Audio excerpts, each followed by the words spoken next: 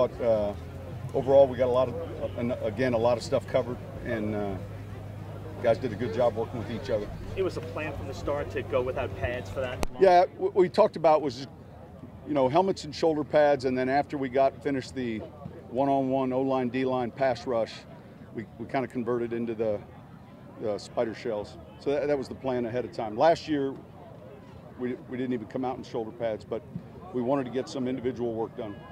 Sean, another day with Marcus Davenport. I know it's kind of hard to assess because he's a little bit behind, but you know, just what are your thoughts on, on the last Listen, days?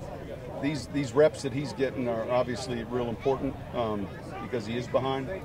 Uh, we'll have a chance to watch him again on tape. You know, he's doing some good things, and I, I think it's good that he's getting to see a, a few different uh, schemes defensively, offensive schemes, different personnel as far as who he's going against. But he's got a lot of catching up to do. But uh, fortunately, he's healthy now. You had a couple of Astros out here today. Did you speak to them? They speak to you? No, they um, they're staying at uh, our same hotel, so I think five or six of these guys had time. They came out, and uh, it's great seeing them. I mean, coming off the year that they had, uh, those guys go on those long road stretches, and you know it's a, a whole different deal with their travel. But it's good having them out here.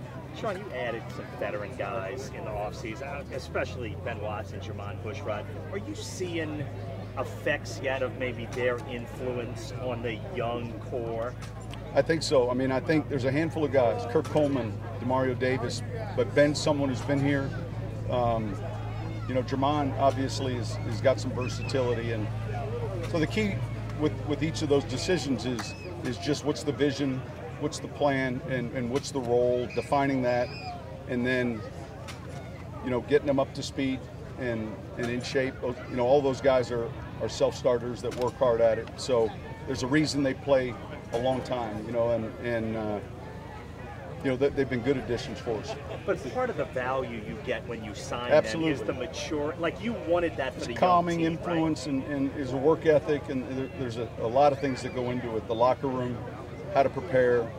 Um, you know, we say this all the time. We still, we don't need to see it every day, but we still need to see it from them as well. You know, and so, uh, but those guys are doing well.